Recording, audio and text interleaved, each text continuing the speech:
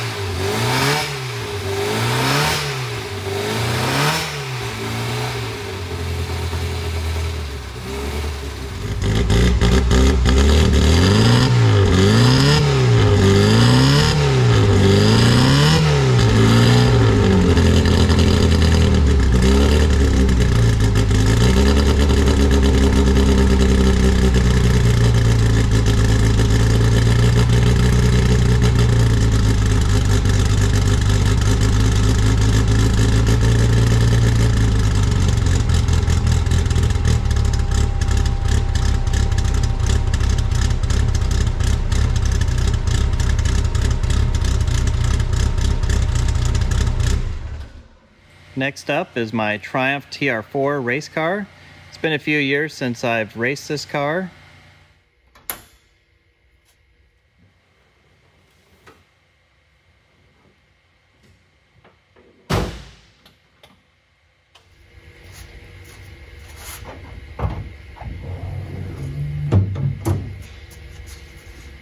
I think the batteries had it in this car. I've been meaning to upgrade this one to an ultra capacitor now I know to put this one on the list as one of the first for an ultracapacitor. Let's see if we can jumpstart it.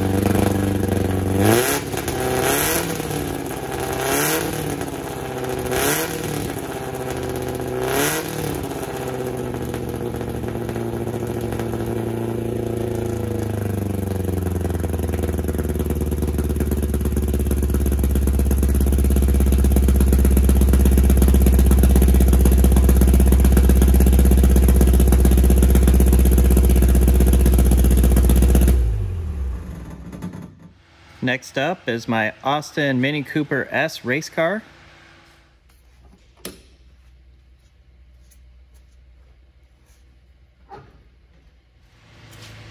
This one's parked a bit too close to the Mustang right now.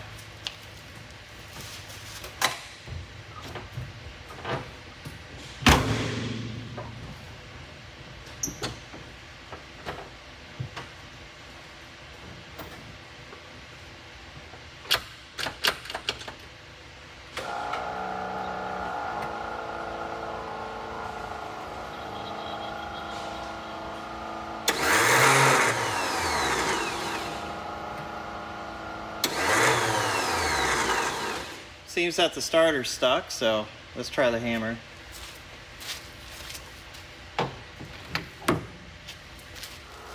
I'm going to tap the starter while I hit the starter solenoid.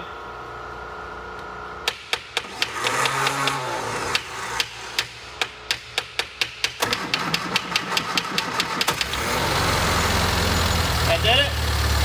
I'll keep this handy in case I need it again.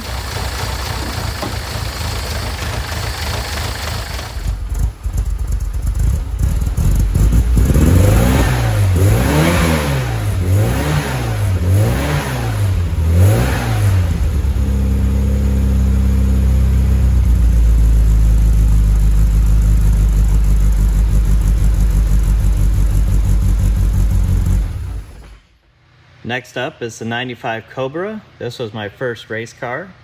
Did my SCCA school in this car.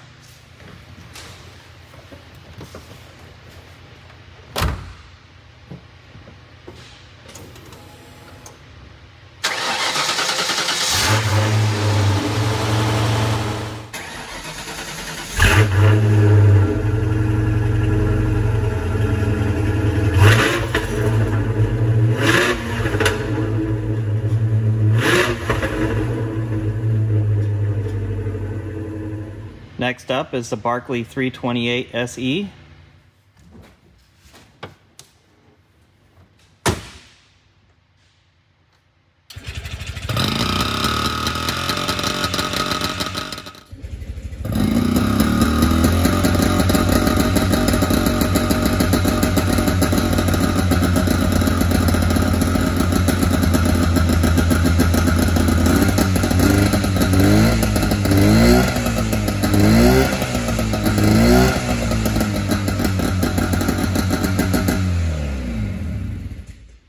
Next car is the Lloyd Alexander. However, the battery tipped over and has eaten the starter. So I need a new starter for this car now. So, so it will not start without being pushed. Next to the Lloyd is a 1968 Mustang Sprint Coupe. I haven't started this car in a while. I'm not sure if it will start, but let's throw a jump pack on it and see what happens.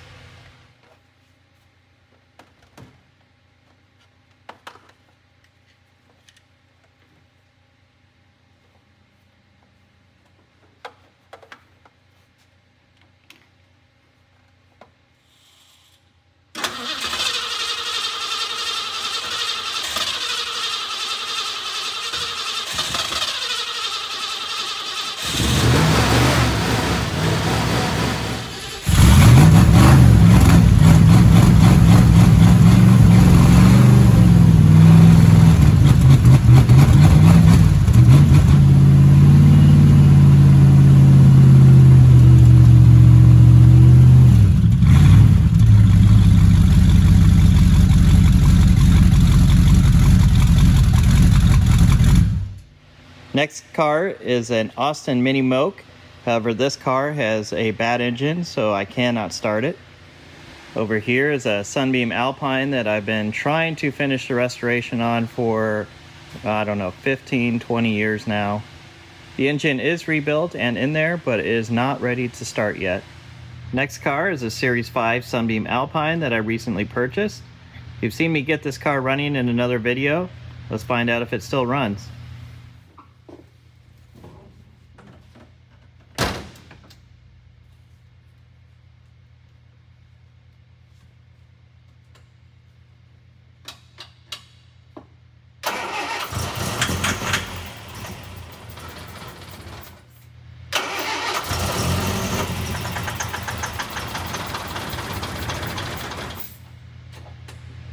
Let's call that close enough.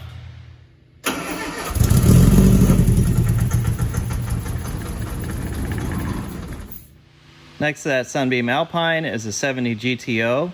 It does not currently run, although it is very, very close. And next to the GTO is an MGTD. I have the transmission out of this. I will be showing you what I'm doing to this in a future video. That brings us to the Mark II Sprite that you've seen in previous videos.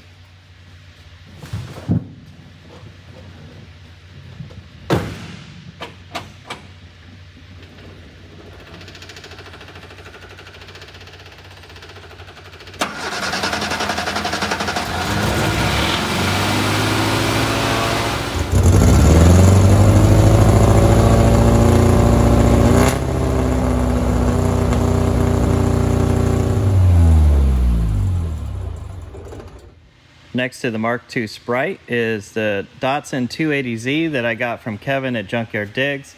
You can see I am currently doing some work on this car. Some nice mouse nests that I found in there.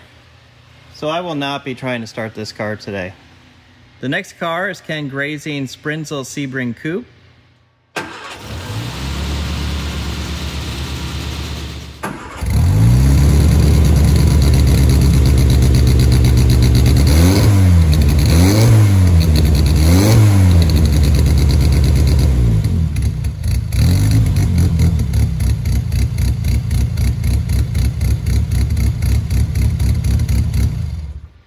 Next car is a 1966 MG Midget. Believe it or not, this car used to be a rust bucket on my shelf, and now it is fully restored.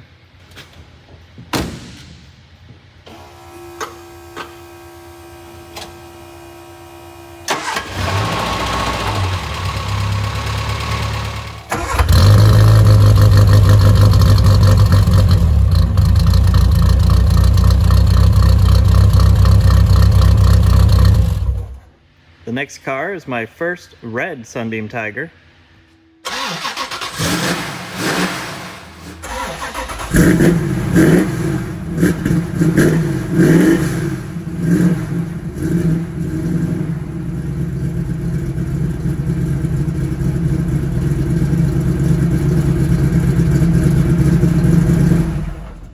Next is my second red Sunbeam Tiger. I did a video getting this car running.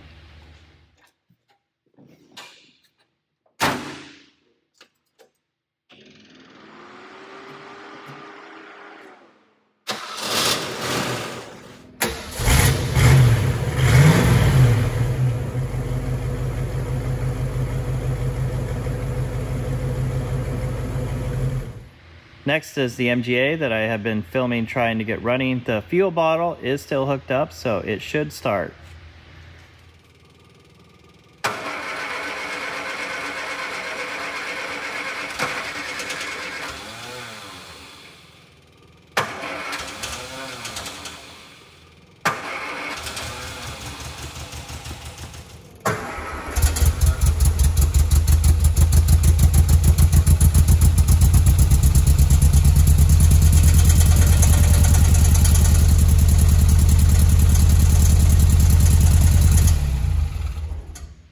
And finally, in this first section of cars, this is Barn Sprite number three. The engine is locked up right now, so obviously I won't be starting this one.